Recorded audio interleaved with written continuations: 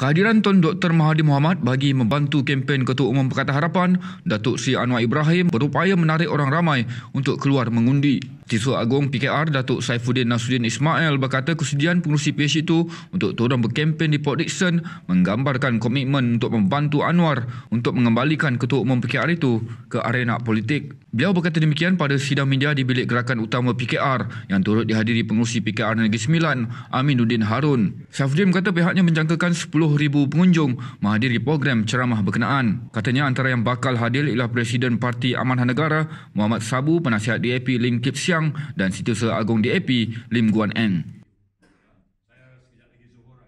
Biar secara jujur kita banding pula pentadbiran yang lepas. Ya, kita pun semua tahu apa yang berlaku pada masa lepas. Jadi dalam keadaan sekarang saya tengok bahawa tak ada langsung, tak boleh di, di, di apa nama diberi satu uh, lontaran seolah-olah jentera kami ini uh, menggunakan jentera kerajaan. Jentera kami selama 20 tahun tak pernah berat bernaung di bawah jentera kerajaan. Pun kami berjaya menumbuhkan kerajaan. Ya. So, tak ada alasan untuk ketika kami dah tumbuh kerajaan, kami pula nak guna jentera kerajaan. Jadi, uh, alasan yang sama yang menjatuhkan PN tempoh hari. Calon bebas boleh saja melemparkan apa saja tuduhan. Itu penjelasan saya begitu. Ya. Saya sekejap lagi zuhur akan ada di masjid. Ya.